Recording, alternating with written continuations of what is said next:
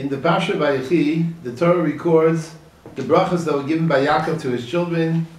These brachas are unquestionably prophetic in nature, more or less define each Shevet in terms of their character traits, in terms of their future, and at the end the Torah summarizes it in Perek Memtes Pasuk Masar, there are 12 Shvatim, this is what their father told them and blessed them. Ish asher berach osam. Each one in accordance with the bracha that was obviously fitting for them. As Rashi says, bracha al. The bracha that in the future would in effect be implemented vis-a-vis each one. Rashi then is troubled by the Lashon Rabbim, Isha Sheki B'chasa Berach Osam. He blessed them.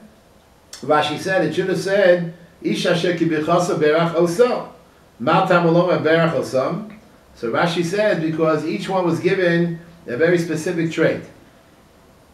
Yehuda was given the gvura of the Ari, the strength of the lion.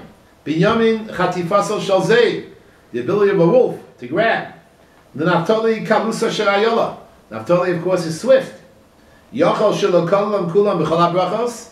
I would have thought that they're not included in all the other brachas. Berachosam Lashon.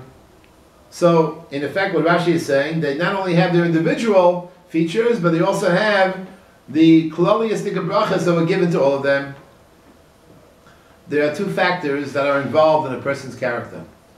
As the Pasuk says, Ish Asher Kibichaso and then it says Berach Osam. The pasuk seems to indicate a kind of dialectic, and I believe this is what Rashi is trying to teach us. Namely, each individual has his own personality, has his own attributes, his own destiny. Clearly, each individual is distinctive, is unique. Kishem shavim,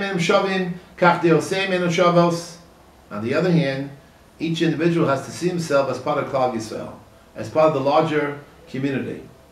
The Ohr HaChaim HaKadosh here explains that Yaakov Avinu blessed his children, each one according to their particular character traits. In the days of the French Revolution, many of the philosophers of that period of time, including Voltaire and Diderot and Rousseau, they were of the opinion that all men are born equal. Each one has a tabula rasa, as Dewey said, a kind of blank page. And this is a kind of deterministic psychology that they expounded. And modern psychology, Lehavdil also agrees with this kind of understanding. Chazal did not see it that way. Chazal saw Morabu Masecha Hashem. Morabu in the sense of how variegated is the world, how diverse is the world, how motley, shall we say, is the world crew each one with their own distinct and very special characteristics. And in order for a person to develop himself, he has to recognize and really understand his own kishronos, his own talents, and that's something that's very critical. In order for a person to develop their self-esteem, they have to recognize they have kishronos that no one else has. They are unique, they are distinctive, they are individuals who are yichudi from every standpoint. And that's how Hashem created us. Each one has their own matbeah, the Gemara says in Sanhedrin. Each one has their own coinage.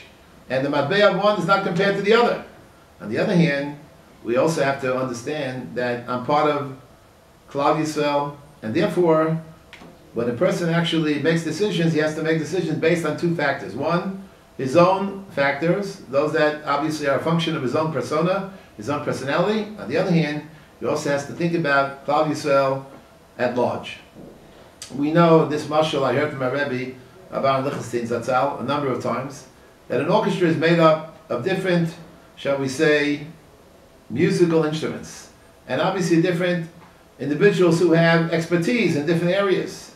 There are violinists, there are pianists, there are drummers, there are those in the percussion percussion section. If all the musicians had chosen the same path for themselves and all ended up in the string section, the strength of the orchestra will be greatly diminished. An orchestra, its godless consists of, as uh, we well know, mathematical principle. The whole consists of the sum of its parts. And therefore, all the parts individually have a role, but together, they now are able to produce a very wonderfully rich and uh, collective kind of musical ensemble that perhaps would not be possible by any individual. Is the collection, the tziruf of them all, as Chazal say in a different context, called Pruta Pruva Mitzarevas Cheshbon Godel. Each Pruta comes together and becomes a Cheshbon Godel. So my Rebbe pointed out that the Jewish world also is of a similar nature.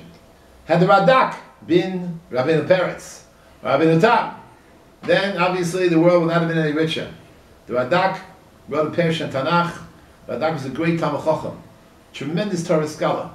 But his contribution to Klal Yisrael ended up being in the area of Tanakh, and a contribution which is absolutely unparalleled.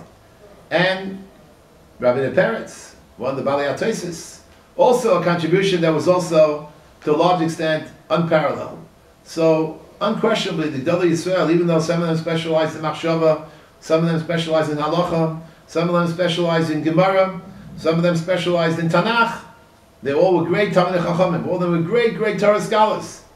But they were able to find areas of individuality that are distinctive, that are unique, that are unparalleled in terms of their contribution to Klal Yisrael. And therefore, a person has to go ahead and, in effect, on the one hand, realize that he's part of Klal Yisrael, part of a whole. On the other hand, he has to find for himself his particular niche. He has to carve out where he can actually utilize the talents that Hashem has brought gave him, and this is embedded in this pasuk. That the Torah says, "Ish asher kibichaso berach How did Isam become Isam? How did Klal Yisrael become Klal Yisrael? Because of Ish asher kibichaso. So it's all of us together, welding all of our individual talents, and the sum total of these talents represents Klal Yisrael with all of its beauty and all of its splendor, and the orchestra that therefore emerges is an orchestra, a makela that sings to Hashem Yisbarach, that says Shevach V'odot Hashem Yisbarach, both because of their individual components, but primarily because the individual components have come together in a beautiful ensemble, in a beautiful musical orchestra, where as a result of all the Klal Yisrael devoting themselves with their own talents to Hashem Yisbarach, we can have literally an entire nation, an entire people who are of the Hashem, the aim over here.